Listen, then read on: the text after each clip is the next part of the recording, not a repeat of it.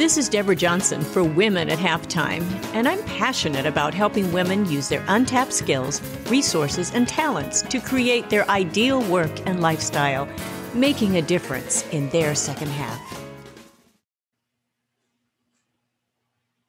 Very, very happy to be back with another week of Women at Halftime podcast.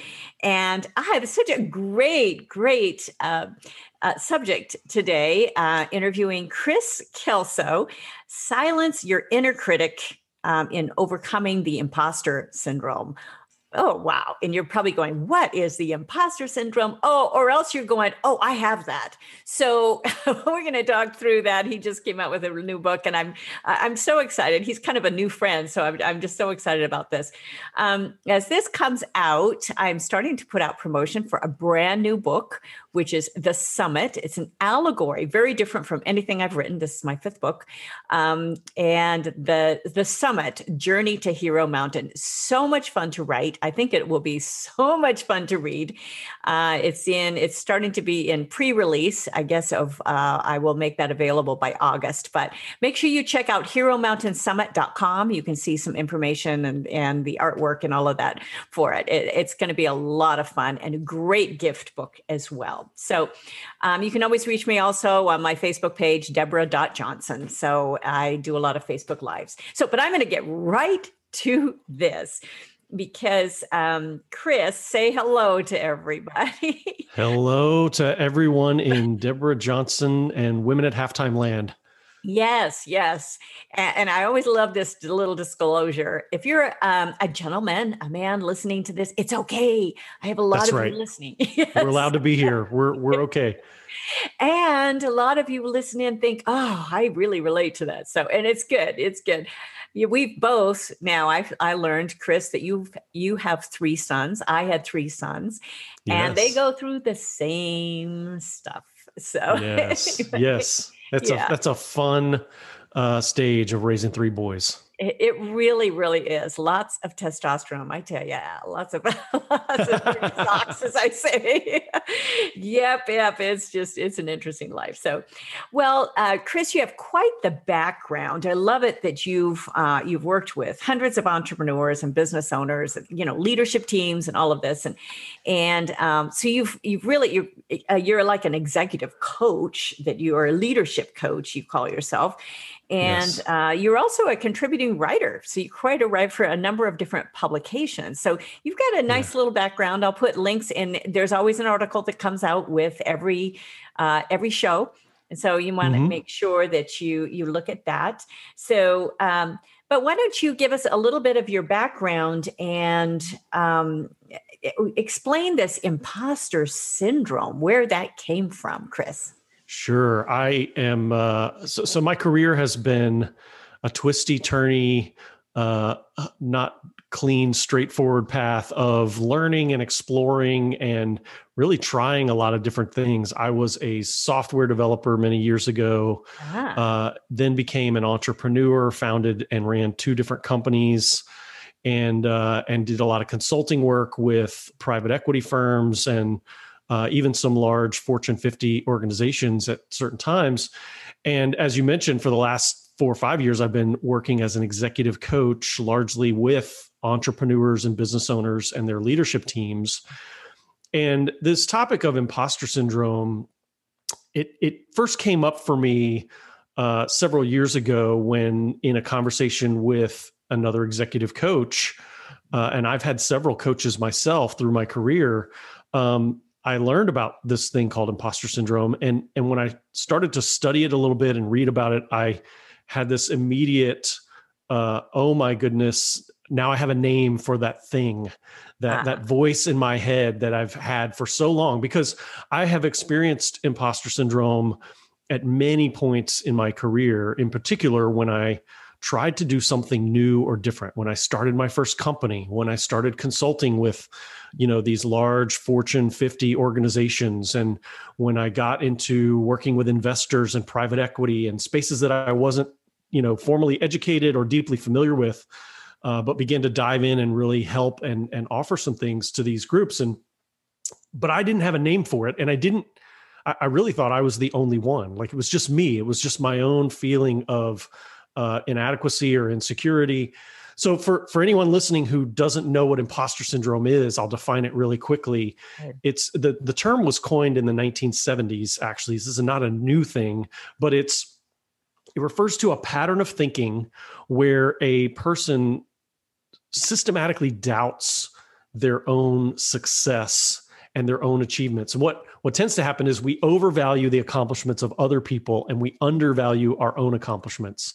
And so, you know, I can look at uh, Deborah as a as a speaker and an author and an entrepreneur, and I can say, well, Deborah's success is because she's really smart and savvy and she knows how to make all the right moves and she has a plan and she executes it well and she just really seems to know what she's doing. Whereas my success as an author speaker a coach whatever has boy it sure has involved a lot of luck and timing. and man, I, I've really made a lot of mistakes along the way and just somehow managed to figure out a way through it. And um, but a lot of the time I, I really don't feel like I know what I'm doing. I'm just kind of learning on the fly and making it up as I go. And as I mentioned earlier, my career has sort of been driven by a curiosity and a passion to learn things and try things. But that has resulted in me often being in a place of I am in over my head. I don't know what I'm doing. I am just figuring it out on the fly. Mm-hmm. And and I feel like everyone else seems to know what they're doing and maybe I'm the only one who doesn't. Wow. But the reality is many of us feel that way. And I'm sure your listeners right now are identifying on, oh, yes, I've been there.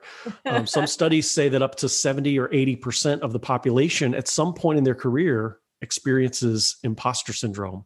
Yeah. And it tends to be more prevalent among high achievers. Yes. So, among entrepreneurs and driven executives, people that are innovative, people that are pushing the boundaries, for that very reason that you're pushing yourself, you're driving yourself, and you're trying new things, you're going to find yourself periodically in a place where you say, How did I get here? And, and, and do I really deserve to be here? Or is this all just a fluke?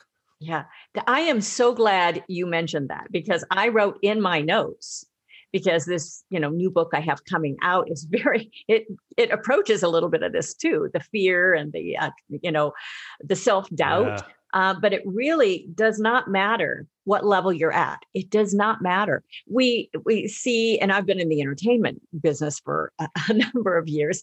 You see these gorgeous people, extremely talented, and they're going to go, eh, you know, after the gig. Do, well, do you think we fooled them today? I mean, it, it's just, you know, yeah. this. Yes. You know how good you are, eh, eh, but it doesn't matter of the level, and the, those sort of thoughts do. It, and they come either now and then or if we dwell on them. And that kind of mm-hmm. comes to you know a, another a little question here. Can you really uh, silence that inner critic? Or what are some of those ways that you do? I'm sure you approach that in your book and i'm going to put a link in the the show notes on this but it, it's uh, can you can you shut yeah. that down? How do you do that the the book is called overcoming the imposter and and the the name was not chosen randomly or flippantly. It's very intentionally about a journey of overcoming. Um, and and you you know you don't reach a point in life necessarily where you've fought that battle and you've won it and it's done and over with. Mm-hmm. now you can overcome in certain areas and build the confidence to the point that you feel like yeah i know that backwards and forwards and i've got it and i am you know definitively an expert in that area. But again if you're the type of person who is pushing yourself who's learning who's trying new things then you're going to even if you sort of beat the imposter, which is what I call that voice, that inner critic mm-hmm. in your head, that that voice that says you don't know what you're doing, you don't measure up, you're not good enough, you're going to fail here. If you beat that voice in one area, but then you go and attempt something new, you're going to encounter it again. It's going to come back and try to to convince you that well, this is the time that you are in over your head and you don't know what you're doing and you're because you're in completely new territory. And I experienced that while writing this book so oh, yeah. this is my first book. I'm I'm a first time author, and so I was learning a ton about publishing and about the book writing process. I hired a great coach. I had a wonderful publisher, lots of really bright people around me. but boy, there were moments when I thought, what in the world am I doing writing a book? What, how, what, I am not an author. I'm not a, I don't know this. And then the fact that I was wrestling with imposter syndrome while writing a book about imposter syndrome made me feel like an imposter. and so I had to I had to battle the feeling that I wasn't qualified to write this book simply because I was feeling insecure about being qualified to write this book. and so it becomes this self-reinforcing you know thought process and fortunately i have studied and i've interviewed hundreds of entrepreneurs and innovators and learned some of the techniques that i used on myself mm-hmm. to overcome those feelings of self-doubt and to to reframe my situation in a really productive way. Oh cool. We're going to get to some of those techniques. I'm, I'm, sure everybody's sitting at the edge of their seat now. Oh what are those? What are those? And just to give you a little clue it doesn't matter how many books you've written you can still go through it. Yes. yeah. thinking, what am i doing writing another book? I can't yes. you know? Well one of the great quotes that i read in my study was author maya angelou uh-huh. who said, I think it was after her 11th book, uh-huh. and she had a lot of successful books. She said, after publishing that 11th book, she said, "Up, oh, this is the one. This is this is the time they're going to figure me out. Yes, that I've been running a scam on everybody. That I don't know what I'm doing. Like the jig is up any minute now." And she said she feels that way every time she publishes a book. So again, it can come up time and time again, um, and it's not a sign that you're weak or inferior or that you really don't know what you're doing. In fact, sometimes it's just a sign of uh, the right level of humility and self-reflection. You know that you're not egotistical and and too far in the opposite direction. Right. And, and I think um, one of the reasons for failure is overconfidence. and so we yes. have to realize, you know, coming toward, you know, something new, and especially, I mean, you know, I hire the best people I can. And so I hired a, a great editor. So of course you're going to see all of these, you know, cross outs and, you know, all this stuff right. on your work yeah. and you're, you're looking yeah. at it. And, and I kind of looked at my husband and I said, what am I doing writing another book? yep. But that's what I paid for. That's what I need. And that's what we yes. all need is we have to have that input and uh, really, really important. So, um, and you've covered a little bit of my next little question was your background how you've experienced imposter syndrome because it's exactly as you're doing something but i think the important uh, point here is that you were moving ahead and, and yes. you didn't say no i can't do it bury your head in the sand stay stuck. You didn't do that. So uh, you you moved uh, ahead on that. So uh, anyway, I'm going to, I want to be able to talk about a couple of those steps, but let's talk about this comparison trap first yes. and the dangers of that, because that's a big one too. Yeah, I had, I had several really eye opening revelations as I was sort of doing the research and compiling the stories and preparing for this book, this material. And one of them was recognizing that um, anytime I'm comparing myself to another person, almost 100% of the time, I won't say never, but almost 100% of the time, uh, I don't know their full story. I don't know the truth and the reality of their situation. And so I'm comparing the reality of my own life to a usually polished and filtered version of mm-hmm. someone else's life. Yes. And I've heard it compared to, you know, comparing yourself when you roll out of bed to someone else as they walk out their front door. Yes. Or, you know, yes. comparing your the the reality of your struggles and learning and failures and the the the process of success to just the end result of someone else's success. You see right. their victories, you see their accolades, you see their awards, you see the the spotlight and social media, of course, can exacerbate this problem of we get a highlight reel of everyone else's life and we compare that to our day to day. And it just seems like we're falling behind. But the comparison trap is that anytime you're making that comparison and you're trying to judge yourself mm-hmm. against someone else, mm-hmm. it's a trap. It's always going to result in you feeling inferior, behind, or under the under the gun and it's not fair to you. Now, that's not at all to say that we don't learn from other people or that we don't admire and aspire to the things we see other people accomplishing. We can learn a lot from others. We just can't put ourselves in the trap of unfairly comparing that reality of our life to a very polished, filtered, uh, external view of someone else's and and social media has just been so harmful in this i think because you know there's you can buy all of this stuff that'll make you look so good. They will enhance your appearance they'll enhance you know some sort of filter yeah. on all your pictures. It'll be color coordinated. You just look so amazing to everyone. Right. Perfect. And then you're going you know i just did this facebook live or i did a you know uh, an instagram reel and i look like i'm 10 years older than i am. And and like look what i was yes. wearing and it's oh yeah. you know and you start doing and then and then you don't put it out because you think oh i can't compare you know? So it right. it's it that is the fallacy. And i think a lot of people have had to get over that especially during the years of the shut year of year feels like years now of, of yes, these shutdowns. Yes. we all know that. But uh, we've had to get over a lot of that and just say you know what? This is who it is.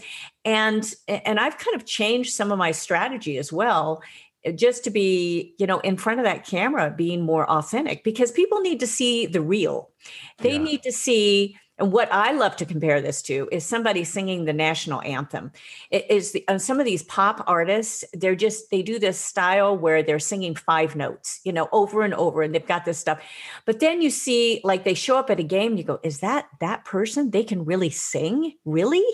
Yeah. With all the training they had. And it puts this in perspective like, oh, there's real talent there. And a lot of times we don't see the real talent because it's hidden in this sort of visual. And so we're doing ourselves harm as well if we yeah. put on that sort of facade. So, and we feel like we have to, you know, keep up with everyone else. And I, am big on uniqueness. And and when you're talking about yes. comparison trap, I have a name for that too. Is this head trash we get into? So, but that's a whole other. But you really do. You really do. So. It is. It is. And so I, I think we can learn from other people but we should benchmark and measure ourselves against ourselves. Yes. Right. If I'm making progress toward my goals, if I'm living in my calling and my purpose and I'm mm-hmm. I'm pursuing what I've been given to do, I'm on my journey and as long as I'm taking steps forward on that journey, I'm successful and I'm making progress.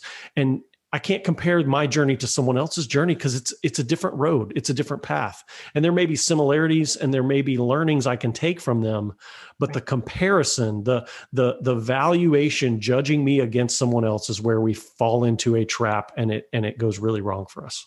And I love that that word trap that you use trap. Yeah. it really it is, is. A trap. It really is.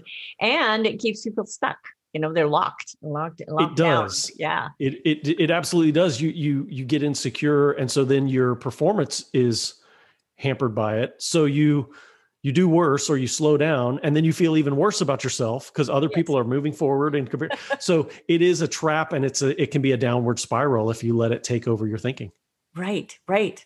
Well, you mentioned something a little earlier um, that I really wanted to kind of um, launch out on on some of the steps people can take yeah. to overcome this because you've done all of these interviews, and which is so very valuable. When I look for sources, I look for actual people that have done the research, not just yes. like some sort of like where did you get that statistic? And my husband's been in finance for years and says you can make up almost any number. You just yes. make them up. Well, you know, 73% of all statistics are made up on the spot. Yeah, you would know that. I love this the fact that you were a software developer. And and, and I love, you know, yes. uh, I, I, call myself a nerd as well. So a fellow nerd. So this is good. So I love yeah. statistics, real statistics. Um, so give us a, a couple of those clues because I want people to walk away with saying, wow, I could apply that you know little st- little baby steps maybe yeah. So so several of the things that you need to do are are changes in your mindset, changes mm-hmm. in how you think, right? And there there are changes in the way you think that translate to changes in behavior and actions. Mm-hmm. But the the thought process, the the I'll give you a couple of big ones. One of them is to reframe failure mm. as learning. And what I mean by that is that people think that failure is the opposite of success Mm-hmm. And in fact, failure is part of the process of success. Mm-hmm. And I give dozens of examples in my book um, about people that failed their way to success, people that that you've heard of people famous people people that we admire who had big failures in their career um, walt disney's first two studios creative businesses failed. One of them went bankrupt after two years. His first one failed after a month mm. but he went on to create the company we've all heard of uh, that is his namesake disney world and disney. Right. And um, Babe Ruth was known as the Sultan of SWAT because he held home run records and RBI records, and he's considered one of the greatest baseball players of all kind, all time. But his other nickname was the King of Strikeouts. Mm-hmm. Right. And his his career total of 1,330 strikeouts was a Major League Baseball record for 30 years. Mm-hmm. And it was then beaten by Mickey Mantle. Wow. So these guys who we think of as heavy hitters, as winners, mm-hmm. they also held the record for the most failures, the most strikeouts, the most failures at the plate, but they didn't see them that way because every time they struck out, they were learning something about that pitcher and his tendencies and how they could do better. And they used that learning to make it to the next home run. And so the big change in mindset is thinking about failure as a learning process. Mm-hmm. And I have a, a, personal mantra that I've developed that I remind myself of regularly, which is failure is only truly failure if you learn nothing. Mm. And so, in anything that I attempt to do, in any risk that I take or any venture that I uh, embark on, I will tell myself there's two outcomes possible here. I'm either going to succeed or I'm going to learn. Mm-hmm. And as long as I get one of those two things, I'm doing well and I'm making progress moving forward.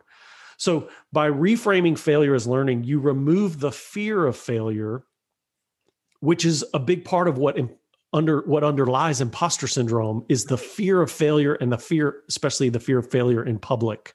Right. That if I make a mistake, people are going to see me as a failure, and that's going to hold me back.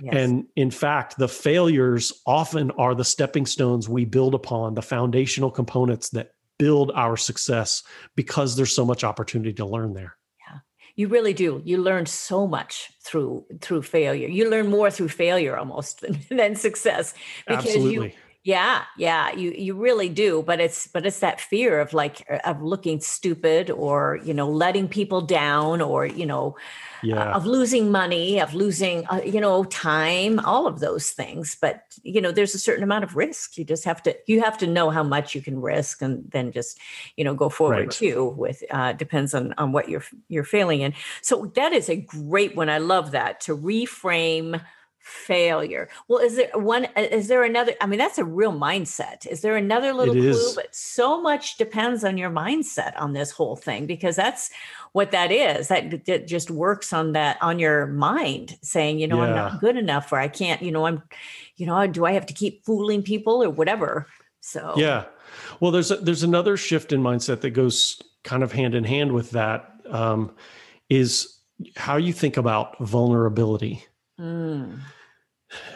Imposter syndrome at the core is the it's the fear of vulnerability. It's the fear of people figuring out who and what you really are and that if they do, you're going to fall short.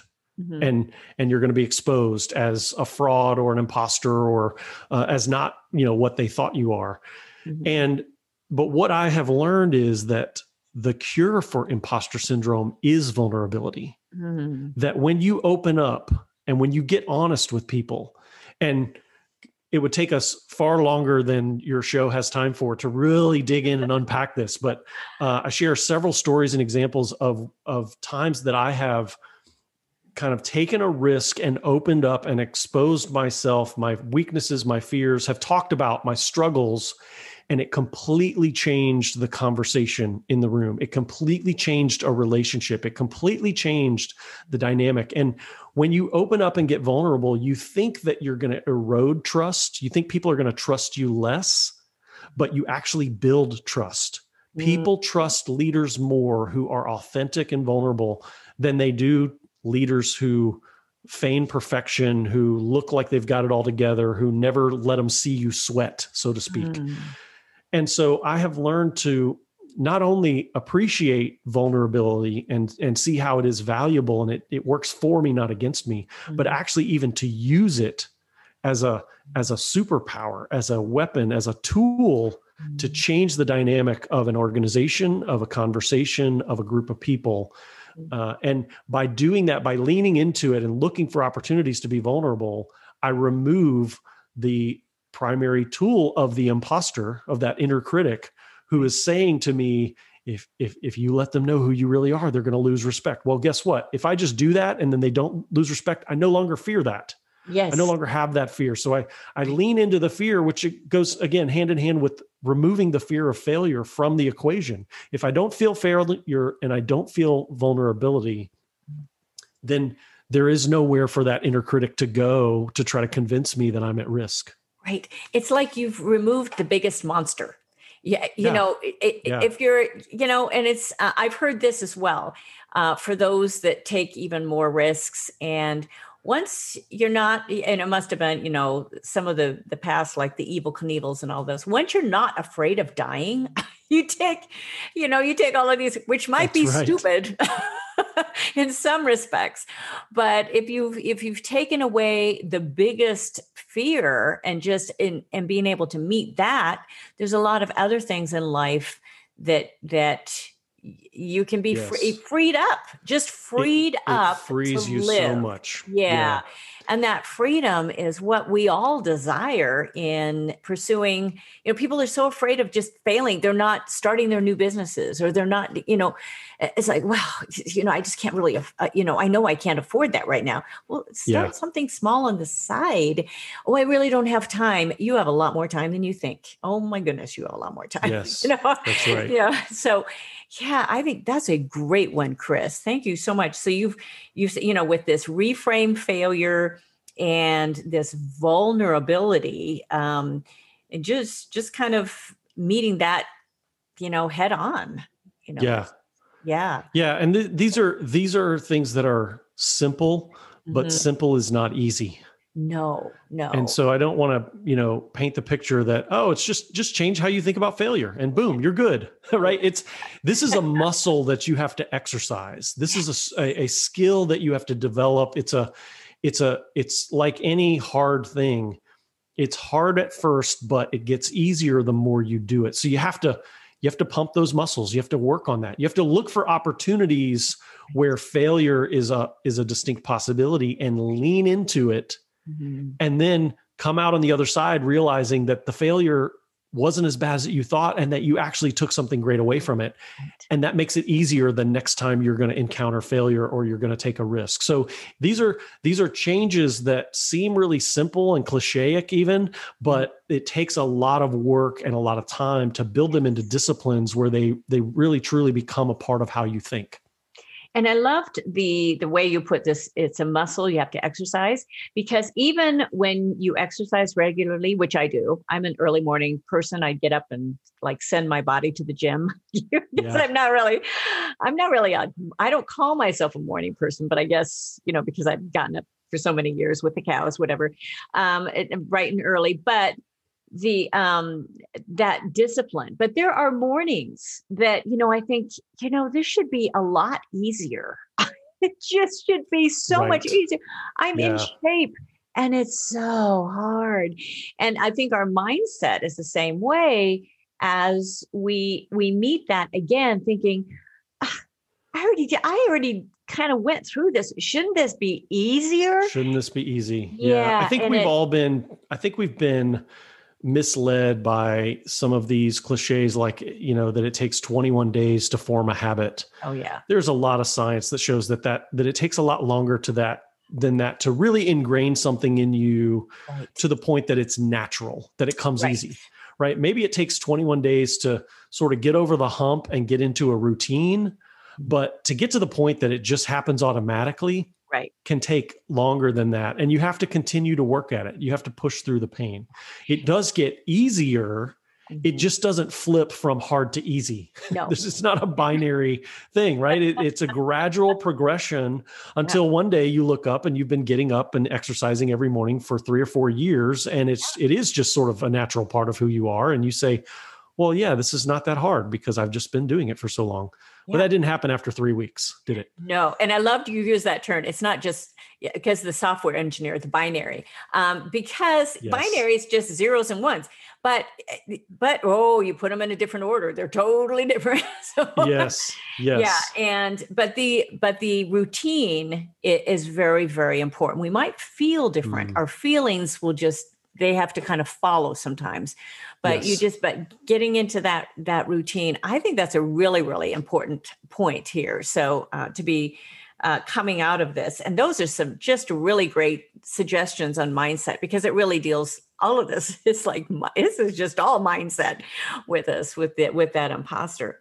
So, it is one of the worst things about imposter syndrome is that it's just totally a mental game yeah. 90% of it is in your head and yeah. and it's things even the things that are that you think are coming from other people are mostly your assumptions about what other people think of you wow. and so it is all a mental battle mm. and that's why it's so important to recognize it and to counteract to to to take actions and make decisions differently because no one else can solve this problem for you you've right. got to have the information and make the choices to mm-hmm. think differently because the battle is between your ears yeah and and uh, right between your ears it's a lot you know it's, it's either close or it's far so yes. uh anyway, that's a really, great points. I usually try to kind of sum this up with a couple points, but I think you gave us, you know, such good points of um, reframing failure and um, meeting this uh, vulnerability. Was there anything else that you wanted to just leave uh, our listeners with as far as this imposter? If they're saying, "Oh, that just sounds too hard," or like, "How do what do I do first? Yeah, well, I I, I want to remind everyone that um, I mentioned early on that this is tends to be more prevalent among high achievers, mm. and so if you're feeling like you're in over your head, if you feel like a fraud, if you have those moments of insecurity, that's actually a sign that you're doing something great. Mm. It's a hmm. sign that you're uh, pushing yourself, that you're stretching, that you're growing. I have learned to recognize that feeling of being in over my head, of feeling like a fraud, as a signal that I'm growing and stretching. And one of the aha moments I had in in cataloging and compiling all the content for this book, I took a long look over my career and my history, and I recognized that the times I felt the most insecure mm-hmm. were the most pivotal moments of my career. Mm. It was the times that I was trying something new, that I mm. was surrounded by people that intimidated me because they were so smart and so mm. successful and that I felt inferior. I felt like I didn't belong, but there were really great things happening. Mm. And so I've learned to see that, to, to, to recognize that feeling as actually a great sign and to lean into those moments when I feel insecure. And once you recognize that pattern, then it really does change. It, it doesn't mean you don't feel insecure. It doesn't mean you don't ever feel like you're in over your head, but but you begin to recognize that ah, there's good stuff on the other side of this, and I've got to push forward rather than what I feel like doing, which is to pull back. Yes. Oh, really really great i think that's that is so very very very valuable. So uh, really great point. I hope everyone takes the time to to read your book. I've really been into audiobooks as well. So you've had it. Uh, uh is it available on audiobook as well or? We don't have an audiobook out yet. There okay. will probably be a launch of an audiobook coming in the future but it's not available today. So you're going to have to either get the hardcover or uh, go for the digital kindle version.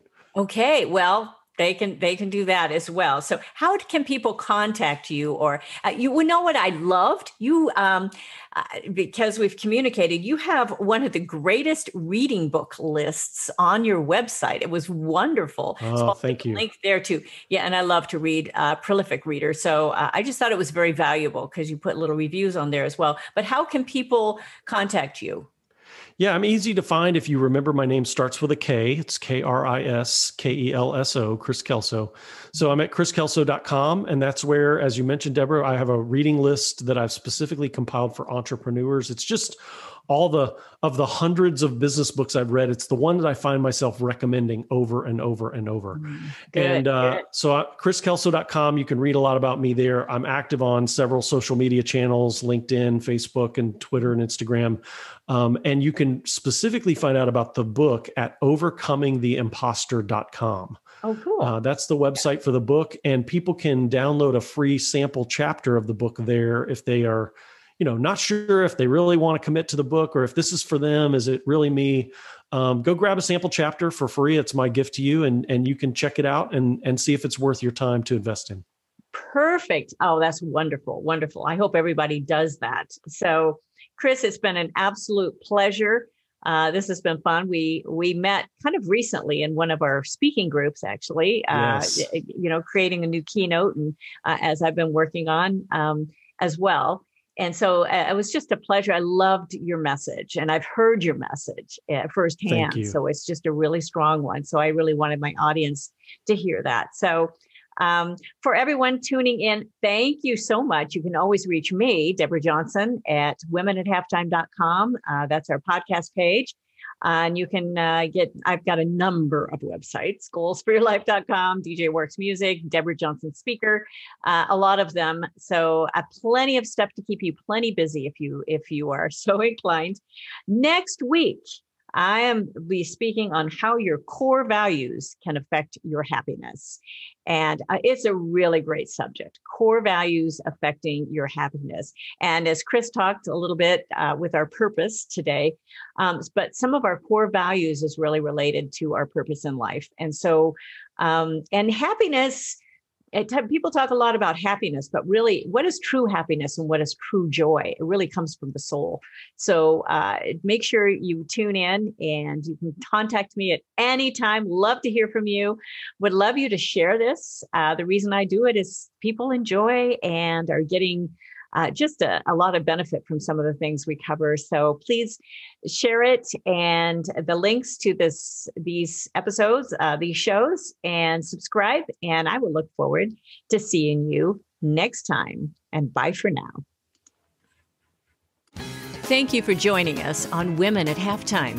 Visit goalsforyourlife.com or womenathalftime.com for many more resources, downloads, and programs, or to get in touch with me. I'd love it if you leave me a review and tell your friends. So until next time, this is Deborah Johnson signing off.